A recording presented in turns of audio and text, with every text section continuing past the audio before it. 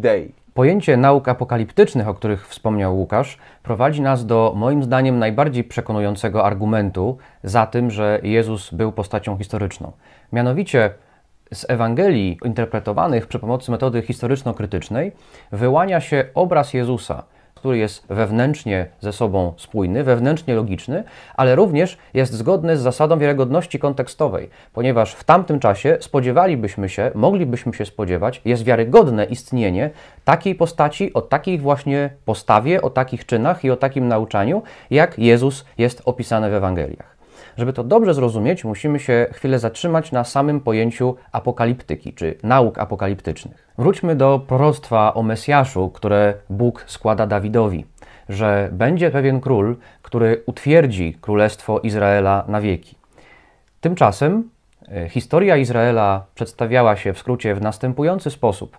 Dwa królestwa, północne i południowe, zostały podbite, pierwsze przez Asyrię, drugie przez Babilonię. E, Żydzi zostali uprowadzeni do niewoli babilońskiej. Później Persowie pozwolili im powrócić do Izraela, powrócić do Jerozolimy, ale nadal Żydzi pozostawali pod panowaniem perskim. Następnie znaleźli się pod panowaniem Aleksandra Wielkiego, później pod panowaniem na zmianę imperiów Ptolemeuszy i Seleukidów, czyli e, tych imperiów, które e, przejęły schedę, przejęły terytoria po imperium Aleksandra Wielkiego i na koniec z perspektywy czasów e, Jezusa e, Żydzi znaleźli się pod butem Rzymian. Była to bardzo ciężka okupacja. I Żydzi oczekiwali tego obiecanego Mesjasza. Żydzi coraz bardziej niecierpliwili się, gdzie jest ten Mesjasz, który wyzwoli Izraela w sensie politycznym, który przywróci potęgę Izraela, który utwierdzi królestwo Izraela. Bóg dał takie proroctwo, mijały wieki, Żydzi przechodzili pod panowanie kolejnych imperiów, a nie mogli wyzwolić się w sensie politycznym. Nie było widać y, wielkiego króla, wielkiego Mesjasza, którego Bóg Żydom obiecał, na którego Żydzi bardzo oczekiwali. I ta rosnąca niecierpliwość Żydów wywoływała zasadniczo dwie reakcje. Pierwszą taką reakcją były powstania zbrojne czyli Żydzi brali sprawę we własne ręce. Takim powstaniem zbrojnym było na przykład powstanie Machabeuszów, które było w II wieku przed naszą erą.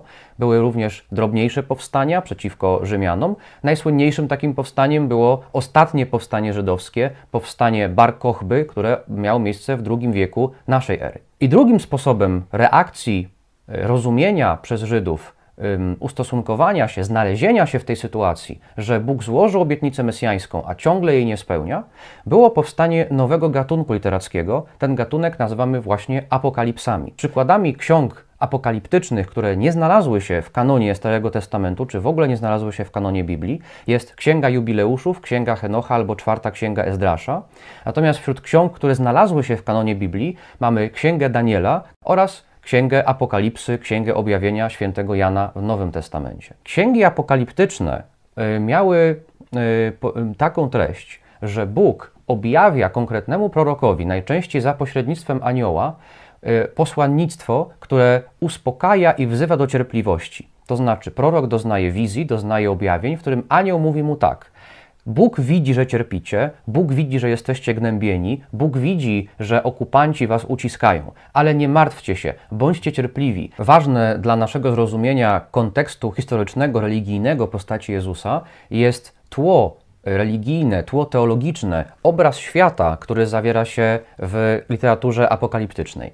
Mianowicie ten obraz świata polega na tym, że na świecie ścierają się dwie siły, że świat jest areną walki pomiędzy dwiema mocami, siłami, mocami dobra i siłami, mocami zła. Te siły dobra to są siły, które należą do Boga, natomiast te siły zła to są siły, które należą do szatana, do złego ducha. I tym dwóm siłom odpowiadają dwa rodzaje ludzi. Są synowie światłości, synowie Boży, sprawiedliwi i są również synowie ciemności, są niesprawiedliwi.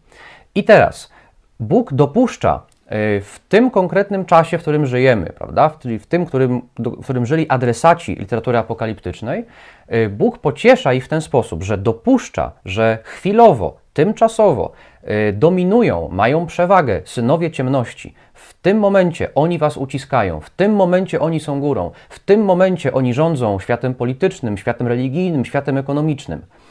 Ale Bóg zapowiada, że to już nie potrwa długo, że niedługo nastąpi dzień pański, że niedługo nastąpi dzień sądu. W którym synowie ciemności, w którym niesprawiedliwi, w którym ci, którzy was teraz uciskają, zostają, zostaną zgładzeni, zostaną osądzeni, a wy, synowie światłości, ci, którzy byliście wierni mnie, ci, którzy byliście wierni Bogu, zostaniecie wynagrodzeni za tę wierność w ten sposób, że zostaniecie uwolnieni od tych wszystkich nieszczęść, że zostaniecie uwolnieni od cierpień e, i nastanie e, wymarzony stan, który nazywa się w Biblii Królestwo Boże. Stan, w którym nie będzie już niesprawiedliwości, w którym nie będzie już ucisku i w którym sprawiedliwi w nagrodę za swoją wierność będą doznawać wiecznej szczęśliwości. Posłuchajcie, jak to brzmi w wykonaniu proroka Daniela, czyli tekstu, który znalazł się w kanonie Starego Testamentu.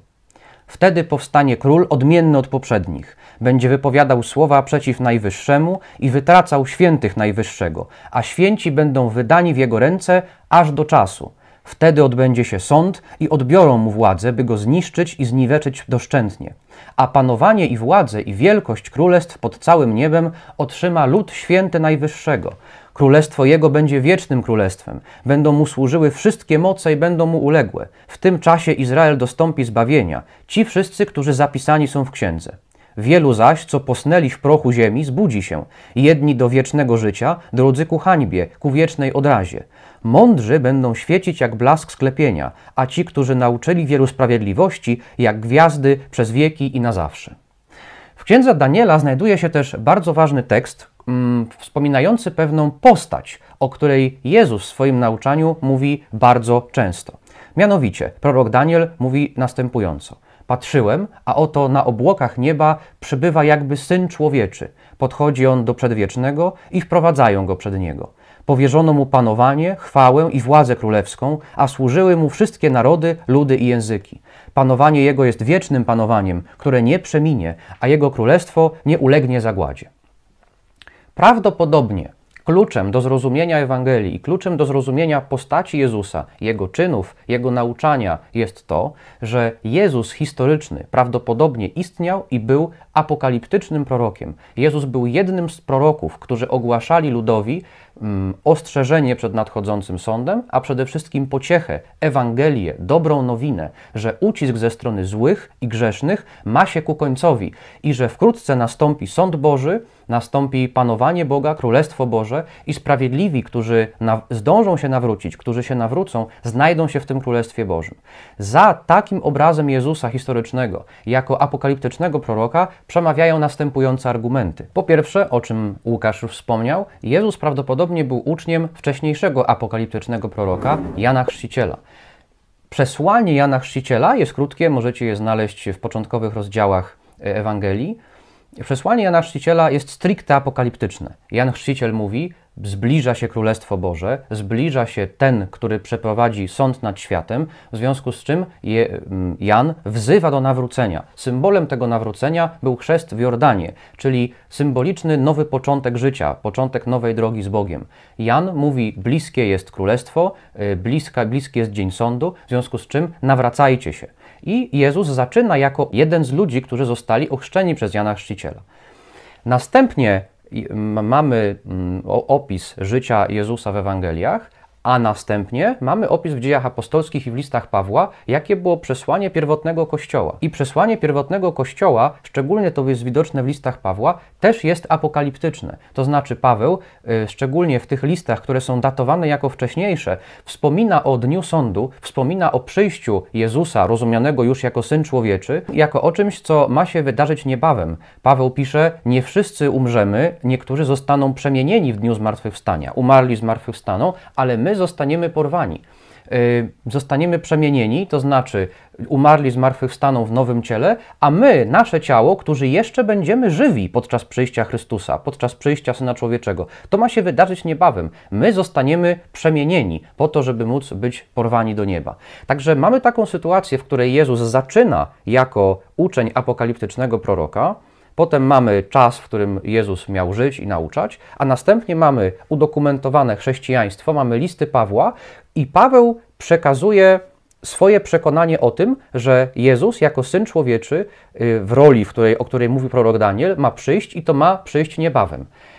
Byłoby bardzo dziwne, gdyby taka postać, która jest pośrodku Jana Chrzciciela i Pawła, ta, która łączy całą, całą tę chronologię, albo w ogóle nie istniała, albo gdyby była kimkolwiek innym niż właśnie apokaliptycznym prorokiem. Po drugie, Jezus reprezentuje światopogląd apokaliptyczny, o którym wcześniej mówiłem. Wyraźnie dzieli ludzi na synów światłości i synów ciemności. Szczególnie jest to widoczne w Ewangelii Jana, kiedy mamy opis bardzo długich rozmów pomiędzy Jezusem a Żydami. I Jezus mówi do Żydów, którzy odrzucają: Wy jesteście z niskości, ja jestem z wysoka. Wy jesteście z tego świata, ja nie jestem z tego świata. Gdyby Bóg był waszym ojcem, to i mnie byście miłowali. Ja bowiem od Boga wyszedłem i przychodzę. Dlaczego nie rozumiecie mowy mojej? Bo nie możecie słuchać mojej nauki. Wy macie diabła za ojca i chcecie spełniać pożądania waszego ojca. Jezus, szczególnie w Ewangelii Jana i w listach, w listach Pawłowych, kiedy Paweł przedstawia dalszą interpretację tej nauki, Jezus dzieli ludzi na synów światłości i synów ciemności. Jezus dzieli rzeczywistość na ten świat, na ten wiek, który jest zły, który jest poddany tymczasowo, jest poddany mocom złego, w którym dominują ludzie źli, i na czas przyszły, który odbędzie się po sądzie, po sądzie ostatecznym, po przyjściu Syna Człowieczego. Chciałbym przytoczyć Wam w całości jedną przypowieść Jezusa, która zawiera w sobie światopogląd apokaliptyczny, wszystkie te elementy, które, o których dotychczas mówiliśmy. Jest to przypowieść, która jest zawarta w Ewangelii Mateusza w rozdziale 13. Inne podobieństwo podał im mówiąc: Podobne jest królestwo niebieskie do człowieka, który posiał dobre nasienie na swojej roli. A kiedy ludzie spali, przyszedł jego nieprzyjaciel i nasiał kąkolu między pszenicę i odszedł. A gdy zboże podrosło i wydało owoc, wtedy się pokazał i kąkol. Przyszli więc słudzy gospodarza i powiedzieli mu: Panie, czy nie posiałeś dobrego nasienia na swojej roli? Skąd więc ma, on, ma ona kąkol? A on im rzekł: To nieprzyjaciel uczynił. A słudzy mówią do niego: Czy chcesz więc, abyśmy poszli i wybrali go? A on odpowiada: Nie, abyście czasem, wybierając kąkol, nie powyrywali wraz z nim i pszenicy.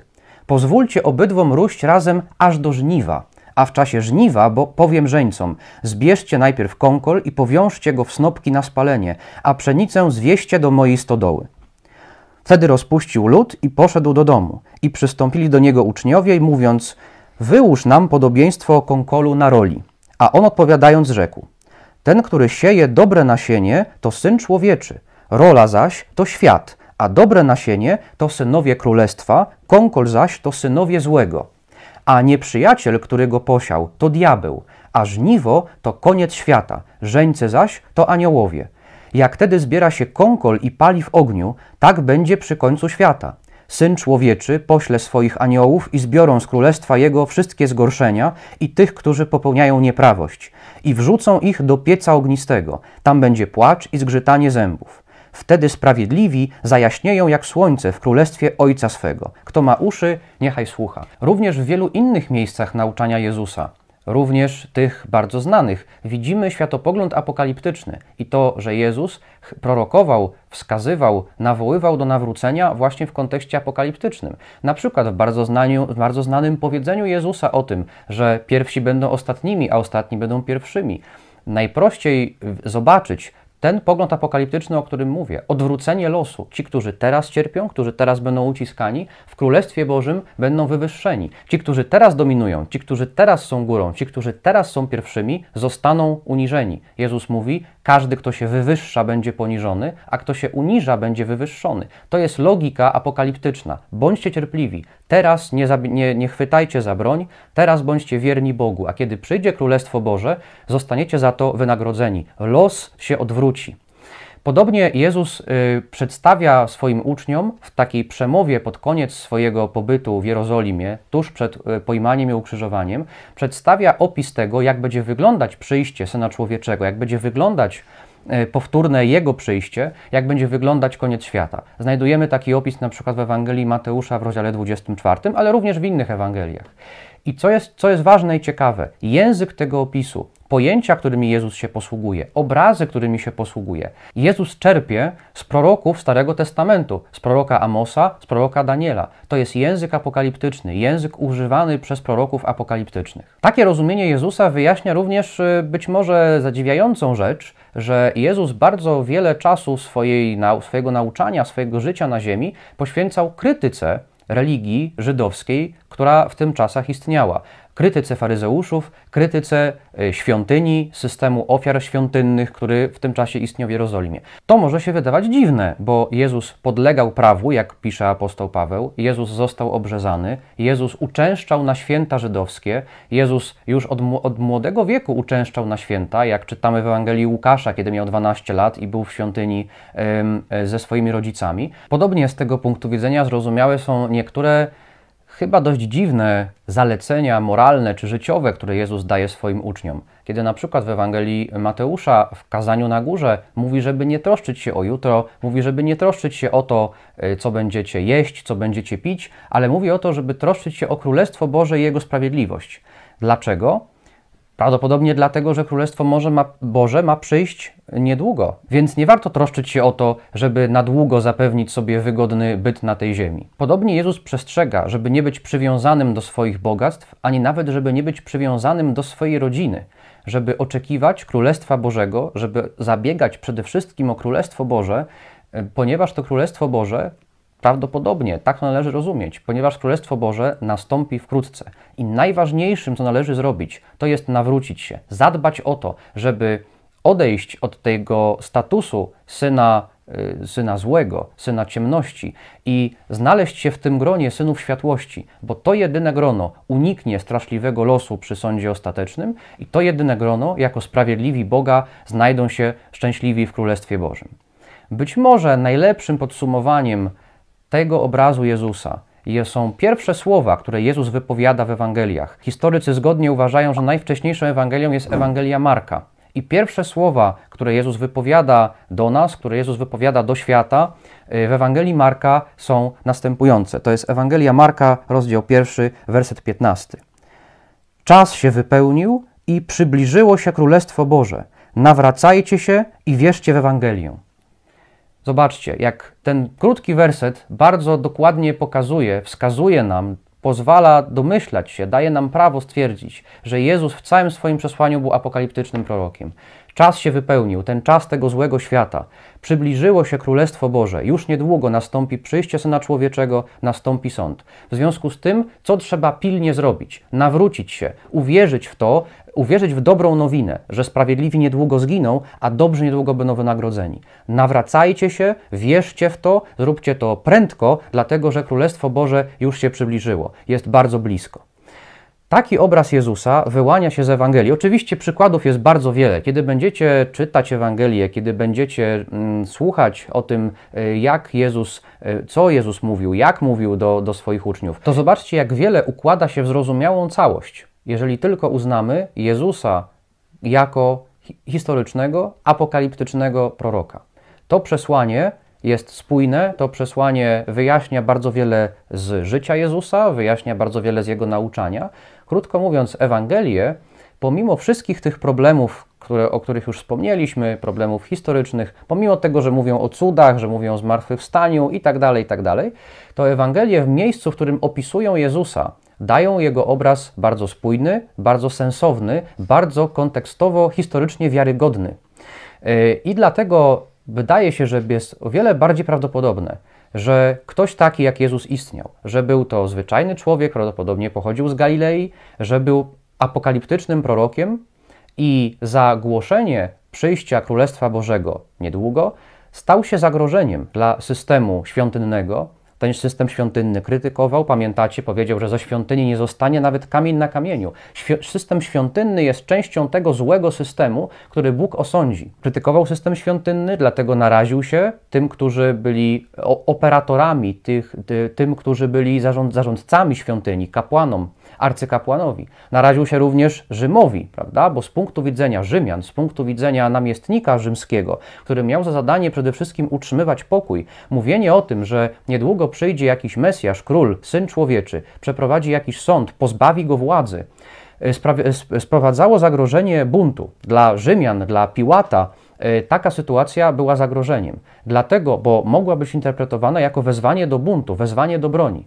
I dlatego jest całkowicie zrozumiałe z tego punktu widzenia, dlaczego Żydzi i Rzymianie współpracowali, żeby Jezusa się pozbyć, żeby Jezusa usunąć. Taki obraz Jezusa jako apokaliptycznego proroka wyjaśnia nam zatem bardzo wiele niejasności, jest wewnętrznie spójny, jest historycznie kulturowo, religijnie wiarygodny i dlatego wydaje się o wiele bardziej prawdopodobne, że ktoś taki jak Jezus historyczny istniał, a nie, że został wymyślony. Gdyby chrześcijanie wymyślili takiego Jezusa, to po co mieliby wymyślać tak wiele szczegółów z życia Jezusa, które komponują się w tak bardzo spójny obraz? Byłoby to bardzo trudne, byłoby to niepotrzebne, szczególnie byłoby to niepotrzebne w późniejszych wiekach, kiedy chrześcijanie zauważyli, no, że Królestwo Boże no, nie przyszło i nie przychodzi do dzisiaj, nie przychodzi.